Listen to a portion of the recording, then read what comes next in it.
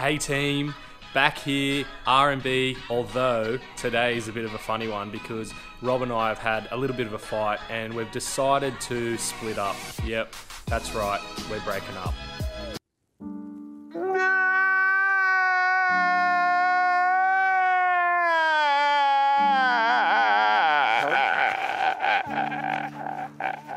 No, just joking, guys. We wouldn't do that to you. We're just splitting up for the day because Robbie has decided that he wants to do some yoga. And uh, I've had a little bit of a sore hamstring, so I don't want to do any stretching. And I want to get into the gym and do some rehab and uh, get the strength back into the hamstrings. So today is going to be all about one percenters and the extra activities that we do outside of training that will add up to give us an advantage throughout a game.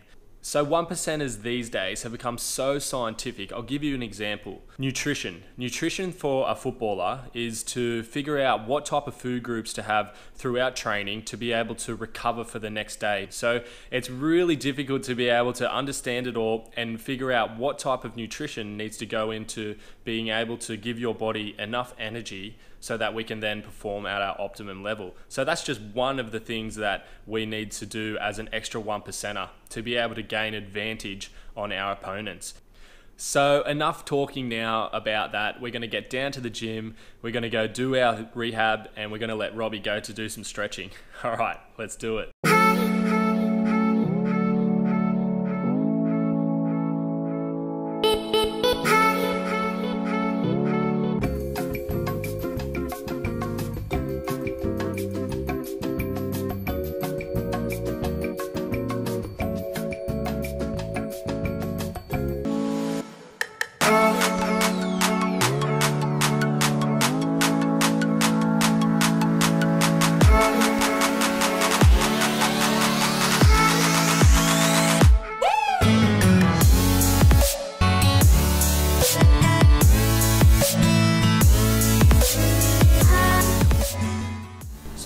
I usually start on the bike to warm up, uh, but today because I'm a bit sore, I'm going to do a bit longer on the bike and uh, stretch it out. So I'll probably be on here for 20-25 minutes.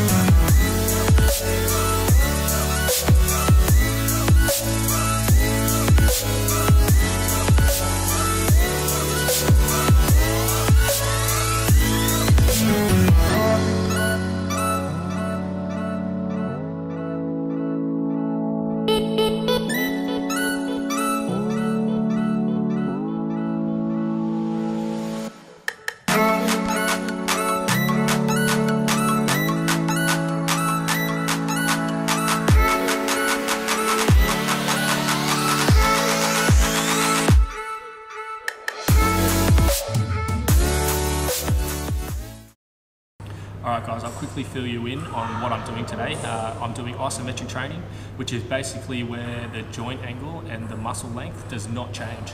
Uh, so I'll get in a position where uh, I've got the weight on my leg and I'll basically hold it there 45 seconds and a minute and a half off. Uh, if you've got any weakness in your muscles, this is the best training to start off with.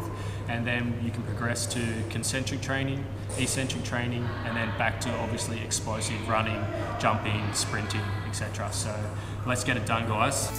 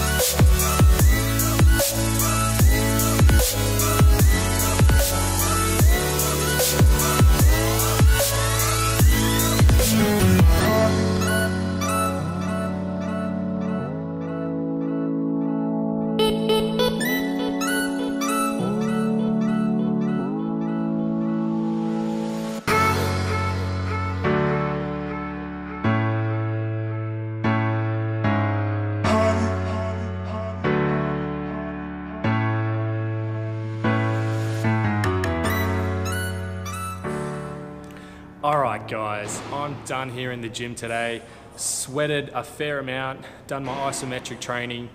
Robbie's done his yoga. We're both working hard. We're both gaining that advantage at the end of the day. So if you're wanting to get to the next level, make sure you're doing those one percenters, whether it's nutrition, resting, recovering, or even just doing these activities, as I say.